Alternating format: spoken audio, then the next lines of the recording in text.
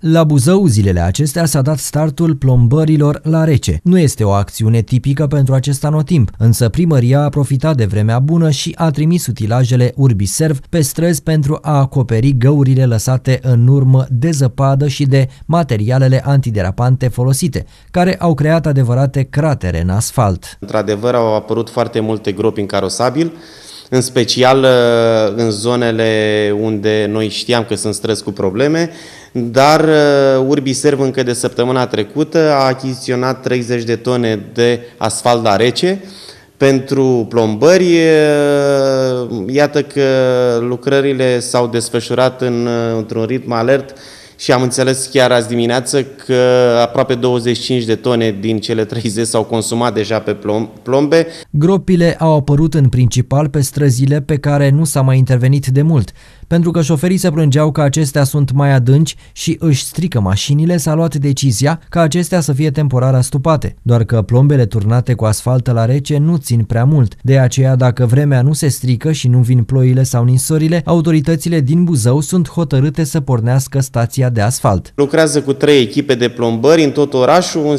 în special pe uh, principalele artere și pe cele tranzitate de transportul în comun, dar și pe arterele secundare, astfel încât uh, uh, până la venirea primăverii, când vom porni stația de asfalt și vom putea executa plombe cu asfalt cald, să încercăm să rezolvăm măcar în parte aceste grope apărute în carosabil. Pentru anul acesta, municipalitatea și-a propus să asfalteze integral mai multe artere mari, precum Horticolei, Alea Industriilor sau Bulevardul 1 decembrie 1918.